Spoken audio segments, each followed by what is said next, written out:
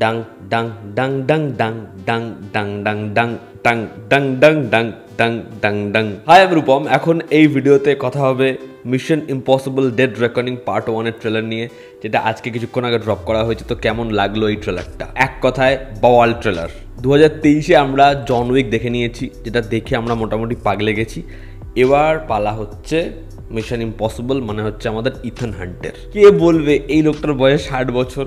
এই লোকটা যেরকমভাবে অ্যাকশন সিন পারফর্ম করে, এই ছবিটার আমরা যেরকমভাবে বিটিএস দেখেছি, এই ছবিটার জন্য আমি আলাদা এক্সাইটেড ছিলাম এবং এই ছবিটা নিয়ে ক্রিস্টোফার ম্যাকোয়ারি যেরকম বলেছেন, তিনি যেরকমভাবে ভয় পেয়েছেন, এই ছবির অ্যাকশন সিনস দেখে আশা করছি অডিয়েন্সও পাবে। তো আমি এই ছবির জন্য মারাত্মক এক্সাইটেড এবং যবে থেকে ক্রিস্টোফার ম্যাকোয়ারি মিশন ইম্পসিবল ফ্র্যাঞ্চাইজির পার্ট সামলেছেন তিনি কিন্তু দারুণভাবে সে দায়িত্ব পালন করেছেন। মানে কোনো ছবি তিনি খারাপ বানাননি। এবং তার সাথে টম ক্রুজের কোলাবোরেশন বারবারই খুব ভালো হয়েছে। আশা করছি এবারও সেটা বিফলে যাবে না। যার অন্যতম উদাহরণ টপগান ম্যাভরিক কারণ সেটারও কিন্তু স্ক্রিন প্লে তিনি লিখেছিলেন। তো ট্রেলারের একদম শুরুর দিকে আমরা দেখতে পাচ্ছি যে ইথন হান্টকে চ্যালেঞ্জ করা হচ্ছে যে সে এই যে মিশনটা করবে, এটার ফলে তার খুব বড় ক্ষতি হবে এবং সে নিজে যেচে সেটা সম্মুখীন হতে চাইছে।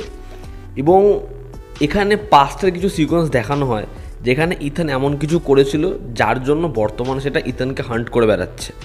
এবং ইথানের যে টিমটা আছে, সেই টিমের বোধহয় এবার কিছু একটা হবে। তা লুথারের হতে পারে, তা বঞ্জির হতে পারে, এখানে রেবেকা ফার্গাসনের যে ক্যারেক্টারটা রয়েছে, আমার তাকে দারুণ লাগে যদিও। তারও কিছু হতে পারে এখানে। যদিও তার পোর্শনটায় আমরা পরে আছি তাদের জায়গাটায়। তো এবার ইথান এই মিশনটা কমপ্লিট করবে, এবং মিশন কমপ্লিট যখন সে করছে তার টিমের বহু লোক তাকে জিজ্ঞাসা করছে, যেমন এখানে লুথর তাকে জিজ্ঞাসা করছে যে তার আসল ইন্টেনশন কী? মানে ইন্টেনশন কি জিজ্ঞাসা করার পর তার আসল ইন্টেনশন কি?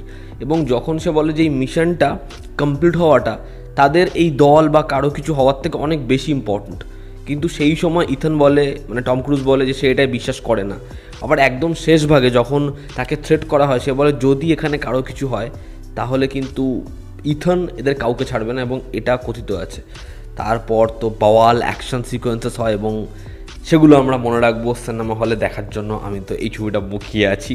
যার মধ্যে কয়েকটা সিন হচ্ছে একদম ওপেনিং যে শটটা একদম মাউন্টেনের ধারে গিয়ে বাইকটা সে দাঁড় করাচ্ছে এবং তারপর যেটা হচ্ছে মিশন ইম্পসিবলের আইকনিক সিন যে স্মোকের মধ্যে থেকে সে ছুটে আসবে, তার শ্যাডোটা দেখা যাবে।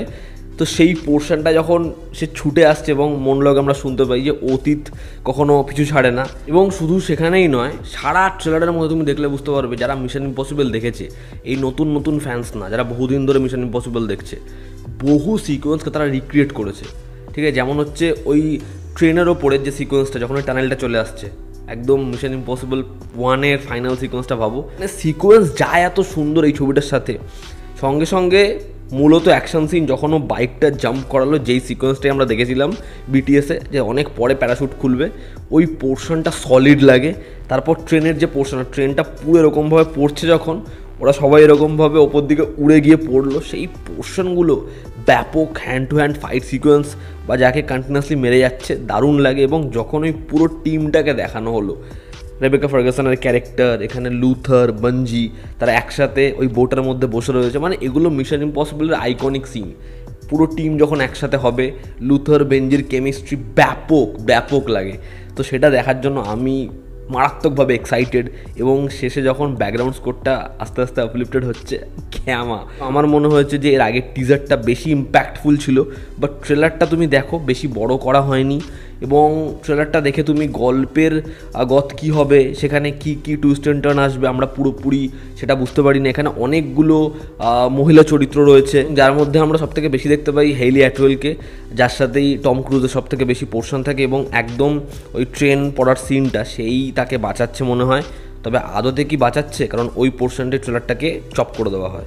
তো অবশ্যই ট্রেলারটার মধ্যে বেশি গল্প রিভিল করা হয়নি, খুব কম্প্যাক্ট সিকোয়েন্সগুলো দারুণ এবং ডায়ালগ বাজি রয়েছে এবং মোস্ট ইম্পর্ট্যান্ট তুমি যদি ট্রেলারটা হিন্দিতে দেখো, বহুদিন পর একটা কাজের ট্রেলার দেখে মনে হচ্ছে যে হিন্দি ডাবিংটা খুব যত্ন নিয়ে করা হয়েছে। হিন্দি ডাবিংটা ব্যাপক হয়েছে, খুব সুন্দর হয়েছে। তো ট্রেলারটা অবশ্যই খুব ভালো। আমি ডিসক্রিপশানে লিঙ্ক দেবো, তোমরা সেখান থেকে অবশ্যই চেক আউট করো না দেখে থাকলে এবং ছিটকে যাও। তো এই ছিল আমার রিয়াকশান মিশন ইম্পসিবল ডেড রেকর্ডিং পার্ট ওয়ানের ট্রেলার নিয়ে। তোমাদের কেমন কী লেগেছে জানাও। এই ছিল আজকের ভিডিও। ভালো লেগে থাকলে লাইক করো শেয়ার করো সাবস্ক্রাইব করো। রেড বাটনটা প্রেস করে অবশ্যই করো, জনতা আমাদের পাশে আছে।